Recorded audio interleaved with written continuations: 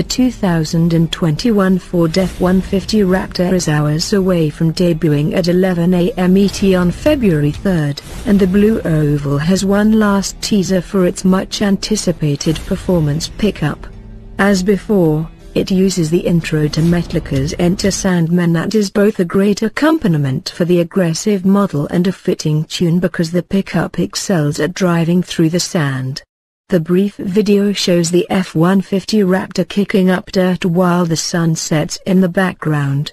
Because of the angle, only the truck's silhouette is easily visible. At the end, there's a shot of the pickup driving through the desert, but the vehicle is very tiny in the frame. A recent leak suggests the 2021 Raptor uses Ford's high-output 3.5-liter twin-turbo V6. The power output isn't available but should be at least the 450 horsepower, 336 kilowatts, and 510 pound-feet, 691 newton-meters, from the previous generation.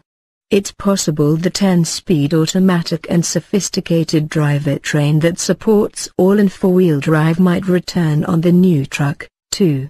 The same leak indicates that buyers can get the new Raptor in eight colors, Code Orange, Rapid Red, Velocity Blue, Antimatter Blue, Iconic Silver, Lead Foot, Agate Black, and Oxford White.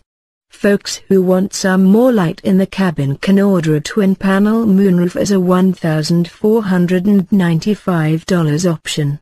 Forged aluminum wheels are $1,895. There are rumors of Ford introducing a more powerful version of the Raptor later. The engine note in spy video suggests that this variant might have a V8 engine. Don't expect to see this model for at least a year after the standard truck's debut, if it happens at all.